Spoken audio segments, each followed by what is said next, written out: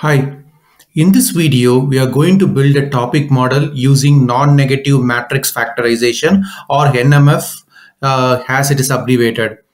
In my uh, previous video, I built a topic model using LDA. And in case if you have not seen the video, you can click the link on the top and watch it. Both LDA and NMF, NMF can be used for topic modeling. Uh, there are some differences which I will talk about it as we go into the details of it. Uh, but uh, LDA as such is more consistent when it comes to topic model. And NMF NMF has its own application when it comes to topic model when the topics are not uh, very coherent right? So let, let's get started. What i'm doing is in the in this case i'm importing pandas to read the file I have my scikit-learn feature extraction uh, to perform the TF-IDF vectorizer. I'm not going to do a count vectorizer over here. I'm just going to use uh, TF-IDF vectorizer. But when we did LDA, we used like count vectorizer.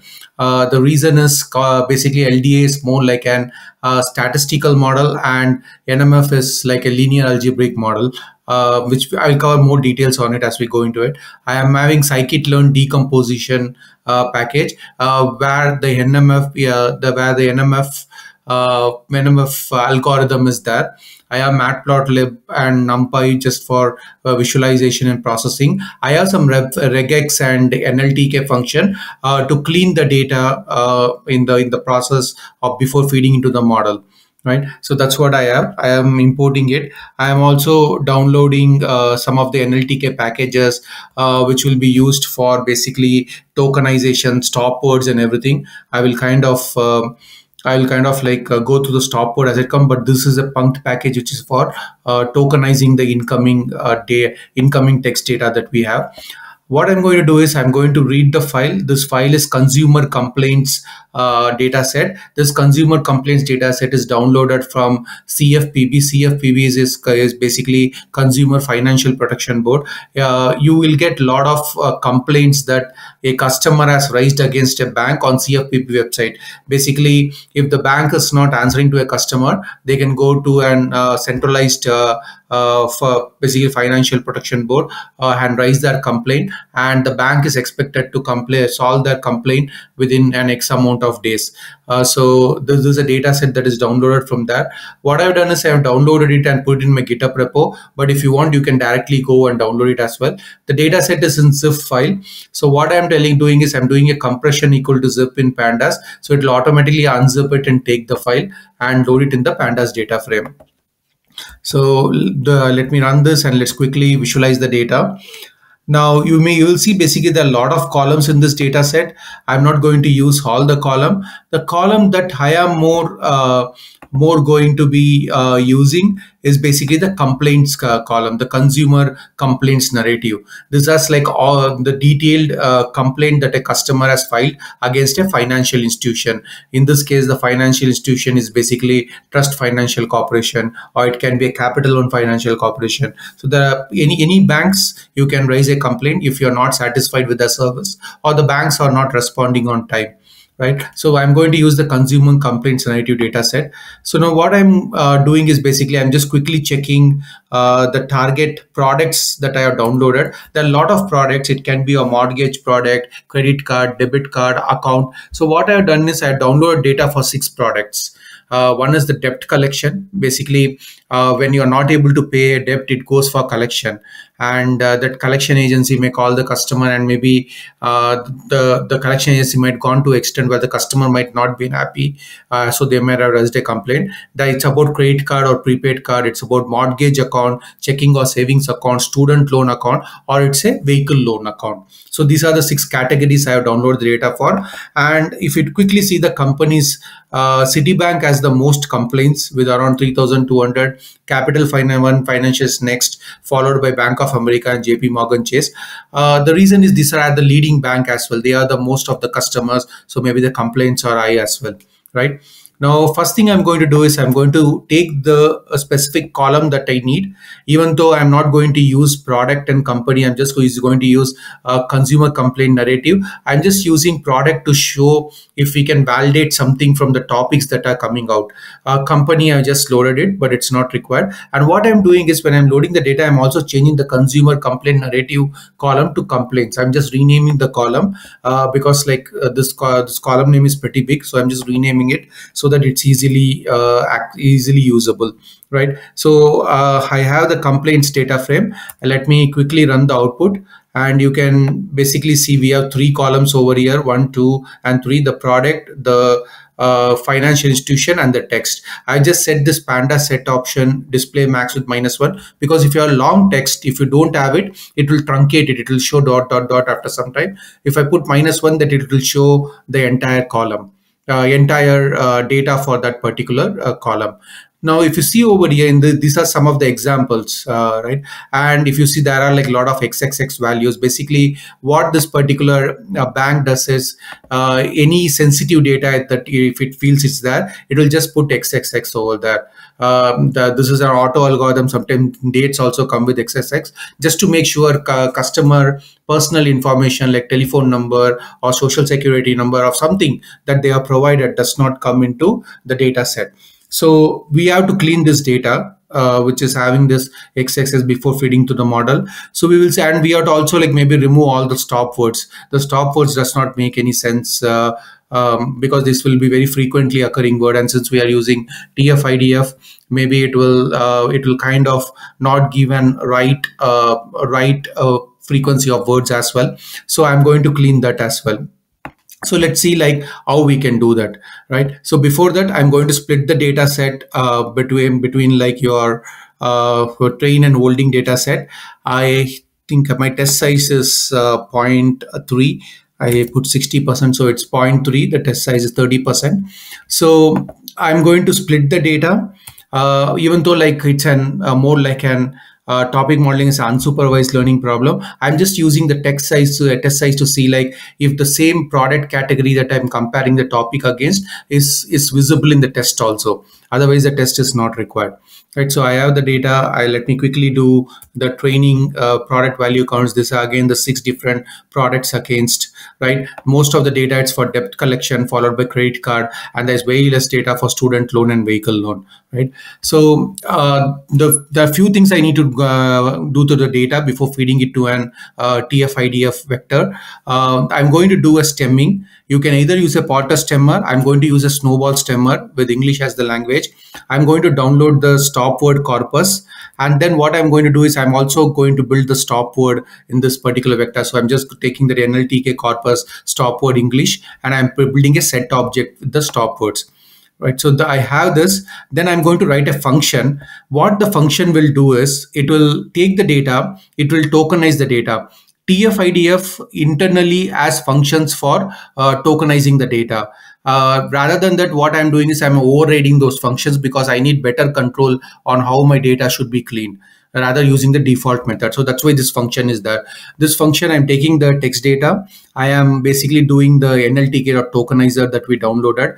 And I am passing on only words that are greater than three characters. So anything less than two characters, his, has, the, the, and all, I'm just removing it and i am also like wherever the word basically has only xxx or slash which we saw on the top i'm removing it uh, now what will happen in this case if like the date as like say xx slash 2020 the 2020 will not get removed right so what i'm doing is i'm writing one more function over here where I am uh, basically uh, telling like truncate all the decimal, like substitute all the uh, integer values with space and then do a strip.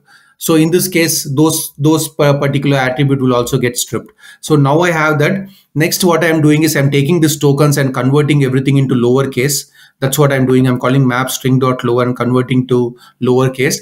And finally, what I'm doing, I'm calling the stemmer that I have created on the top and stemming the input uh, data that is coming in. So this is the function. And then I'm calling the TF-IDF uh, vectorizer. Now, uh, TF-IDF is nothing but let me run this and let me talk about the details of it. It takes some time. Now, TF-IDF is nothing but term frequency, inverse document frequency, and it's kind of a statistical technique that is intended to reflect how important a word is to a document. Now, what the TF-IDF internally does, it, it increases proportionally uh, to the number of times the word appears in the document. And also it offsets uh, by the number of documents in the corpus. So basically, if a word occurs frequently, it will also offset the output uh, TF-IDF value. The reason is some words uh, will appear in all the documents. Maybe that word does not have any meaning or value to it, right? A stop word, a pretty common hand is there, the that and all will appear in all the document, but that does not have any really domain sense to our topic creation, right? So we don't want to take that considerance also. And TF-IDF kind of offsets, offsets those value. Uh, basically, it adjusts that uh, these uh, these words typically appear in general are pretty common, right? That's what it typically uh, does. So here what I'm doing is I'm calling this tokenize function in the tokenizer that will tokenize stem and everything and telling stop word equal to none. The reason is I have done my own stop word. I am not, don't want internal stop word. I'm telling my max document frequency is 0.75. That is if this particular word occurs in 75% of the document, that is the max. If it occurs more than that, then ignore the word you can you can actually adjust this and see how the topics are created. I have kept 75 but you can make 0.50 or you, you can also give the exact number of documents like 500 600 700 or whatever it is right? Yeah, there are two ways to give it. Either you can give exact number of documents or you can give a percentage over here. And what i'm doing is i'm telling my max features as 1000 so take only the top uh, 1000 uh, 1000 words and build a vocabulary out of it right? And uh, basically i'm telling take ngram also one and two. So you can give higher ngram also. Sometimes like checking account is two different word but it may occur together. So that's why i'm giving ngram over here. But you can give a, a larger number also. But in this case i felt two is more than enough now this uh, it will take some time it has run so what it is going to do is it is going to take the tf-id it's going to take that uh, training data frame here the complaints column it's going to uh, like call the tf-id vectorizer and fit it and then also transform the training data set over here and then it's going to create a vector. So if you see the output, we will have a vector based on the uh, term frequency. Uh, we will have a vector uh, uh, basically like a uh, sparse vector for thousand uh, features that we have created. And depending on the occurrence of a particular feature in the column you will have value highlighted over here. So that's what it's going to create over here right? It's a sparse vector. We can quickly check what are the top thousand uh, feature names it's selected based on the occurrence of the word. So i can go to the vectorizer that i created on the top and say get feature names. It will print all the thousand words that it felt are uh, occurring uh, more common across all the documents and also are critical and important. So these are all uh, some of the words. Now some some words you might uh, find uh, pretty simple. Like in this case say it's here like because we did stemming that's why you are not seeing the full word because we are going to the root word over here. So it says insurance companies interest charge interest rate. These are all single word. That's why we the ngram is required over here. Otherwise it will take interest as one word and charge as another word right? So that's why the ngram really helps. So these are the top thousand words that are there now we have this, we are going to perform uh, basically NMF uh, model on top of it, right? So uh, basically NMF, as I said, stands for non-negative matrix factorization, and it's uh, ba basically a technique for obtaining low-rank representation of matrices with only positive element. There's no negative elements. So it's uh, because it's only positive elements, it's very, very easy to interpret the output results. Now, basically what it does it, it factorizes the input uh, TF-IDF factorizer in this case that we have, right? That's nothing but a matrix. It basically factorizes the matrix of TF-IDF vector into two matrix, which is nothing but W and H matrix. So the output will be a W and H matrix. The output W matrix is basically nothing but a dictionary or basis matrix. And the H matrix is nothing but the coefficient matrix right so so you have the output dictionary matrix output coefficient matrix. And the idea over here is take a input matrix, in this case, the TF-IDF vectorizer matrix, and it, this, it can be expressed basically into two terms. The first term is the summation of basis vector, that is nothing but the W matrix and it is multiplied by nothing but the corresponding coefficients for the uh, summation matrix that is H matrix. That's the coefficient matrix. So let me run this decomposition over here now this decomposition we are telling how many topics we want. Here we are telling we want uh, basically six component, nothing but we want output six different uh, topics to be classified as. Uh, you can give any number of topics because uh, based on your data. The the only difference between the N, N there are a lot of difference between NMF, NMF and LDA, but when you have uh, pretty coherent topics, right? The topics are uh, non-noisy and pretty clean, and you can easily understand uh, uh um, seeing the particular words and text. And these are from a similar domain then typically LDA performs very better and LDA is very consistent as well. But when topics are very incoherent, when you're dealing with like social media data or any other data that comes in random uh, or news data or something like that, maybe NMF uh, might not necessary might perform uh, better in those scenarios. But it's not that it's uh, you it's better to run uh, nmf and lda or any other technique along with it. There are a lot of techniques available for topic modeling. So uh, so I have no two vectors as output. As I said, it's nothing but it factorizes your input vector uh, into two different vectors, the W and H. Now in this case, H vector is nothing but uh, will basically tell you the topics and word association. So in this case, if you see, we are selected for six topics and you can see the H vector is nothing but your you are basically corresponding coefficients for each and every uh, features. That is each and every word the thousand words that we have. So it's a six by thousand matrix in our case right? So you have six topics and you will have all the words that are prominent in the topic. So what you can do is for for topic this if you think like this topic one topic two topic three for this topic one you can uh, sort all these particular coefficients and you can take the maximum coefficient. The top x coefficient will be the top x word that is very prominent in the topic right? That's what the h matrix is. Now the w matrix in this case is nothing but tells us which topic is particular uh, very prominent in uh, in this particular scenario. In in the case of uh, the first uh, the first document that we have. So this basically gives you a matrix of all the uh, different um, uh, basically different for each topic. In the document it will tell you uh, a particular uh, association. And you can from this you can go and associate whether it belongs to uh, first topic or second topic or third topic. So that's what the w1 matrix is. So if you remember what i said w1 is nothing but the summation matrix right? And the w is nothing but the summation matrix. And h is the coefficient matrix. So now we have these two matrix now what we need to do is we need to extract the words first and then we have to build an top uh, basically topic and word matrix uh, data frame right? That's what we need to do or a document and word matrix data frame. So the very first thing is let's extract the top words that are very significant in each topic. Now, if you see basically, uh, there are what I'm doing is I, you can set any threshold. I'm setting like give me the top 15 words for each topic, right? So I'm put number of words as 50, 15, and then I'm getting all the feature name as an array. The vectorizer.get feature name. I have thousand features that I have given on top uh, in the TF-IDF vectorizer. I'm getting that as a vocabulary.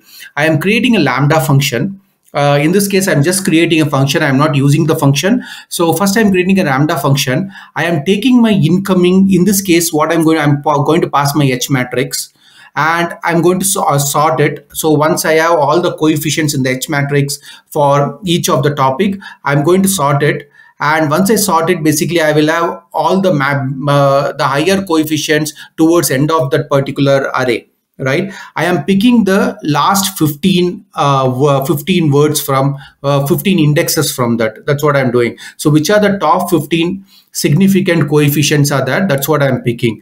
Once i have it i am going to call basically uh, in this case, I'm just going to go iterate and then call this particular vocabulary over here and get that significant word for each topic. That's what I'm doing over here. So I'm telling, in this case, I'm taking the top word, the lambda function I'm created. I'm iterating to my H matrix that I have got on the top. I'm picking the top words and then I have the top words. I'm going to get the vocabulary of element. So if you run this and run the topics as um, uh, the next, the topic output, you can see basically these are my six different topics and these are the prominent top 15 words that are spoken in the topic.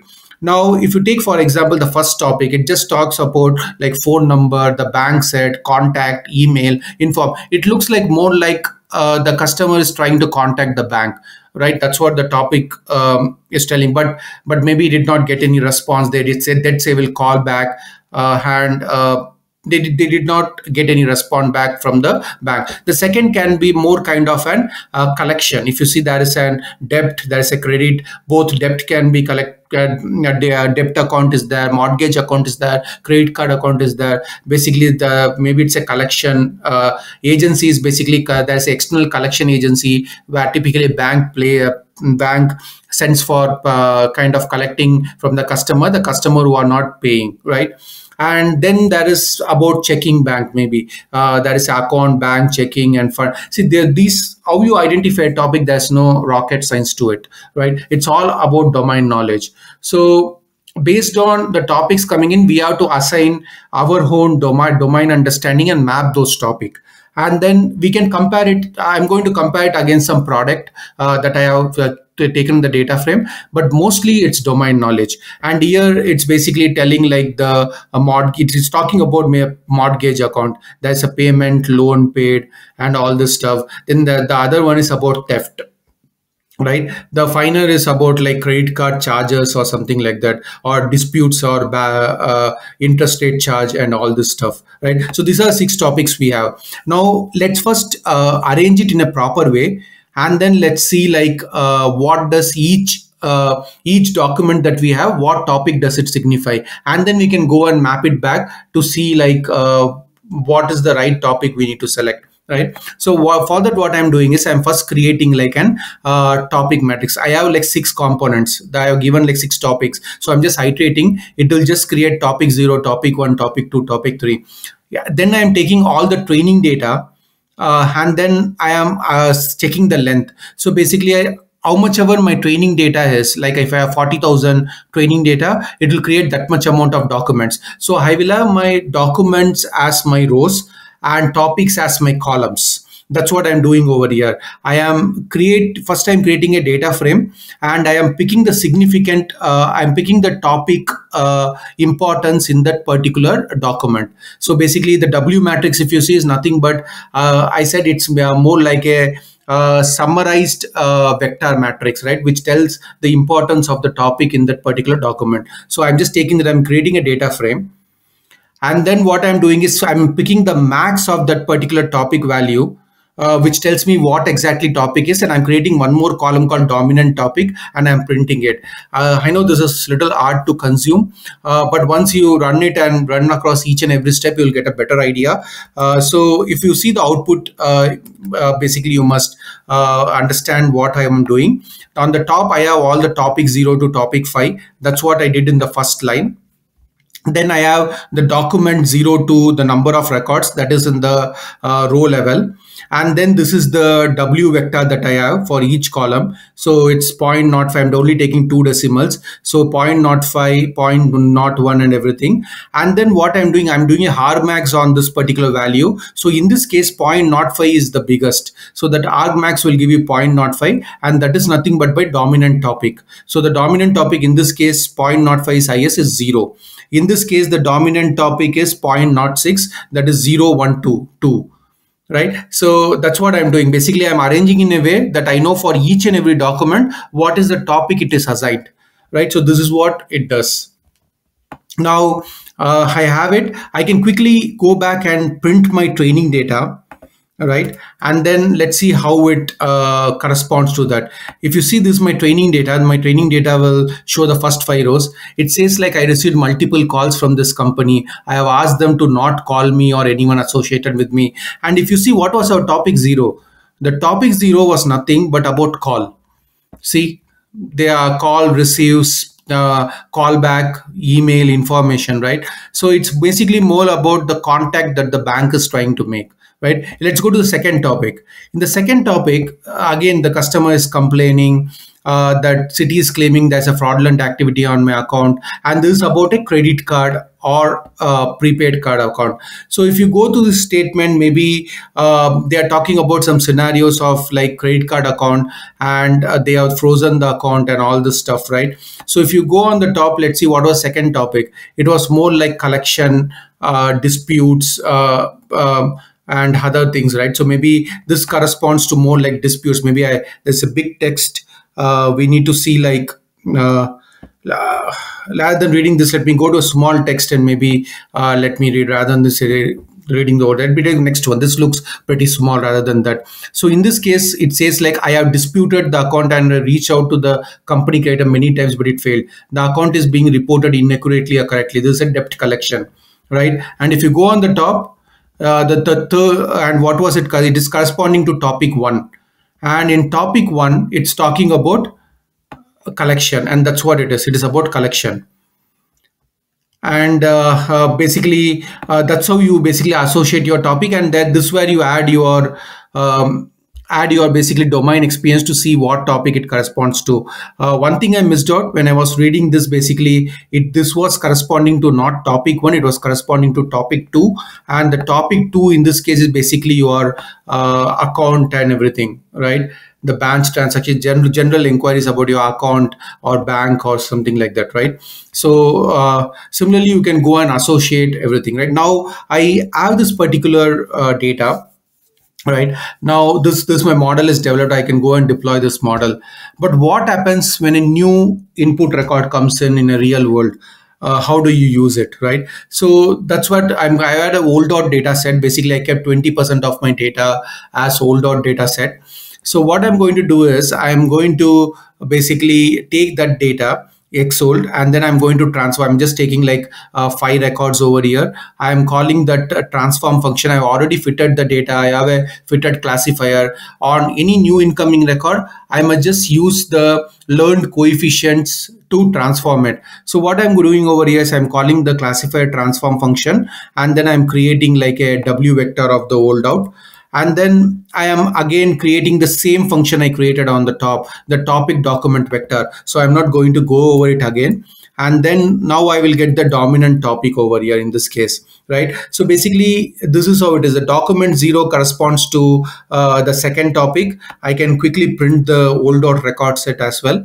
So the so if you see over here, this is how the holdout holdout data set looks like. And um, this the first one generally talk about the checking or saving account right? I have a business checking or savings account and it's telling details. And this is telling its topic two and the topic two if you see from our training set was nothing but about checking our uh, bank accounts right? That's what topic uh, two was. So basically this is how you do with your uh, holdout data set. So similar document uh, one is the uh, third topic second topic third topic and all. So this is how uh, basically you use like NMF uh, algorithm to do tap topic modeling. And that's about it. Thank you very much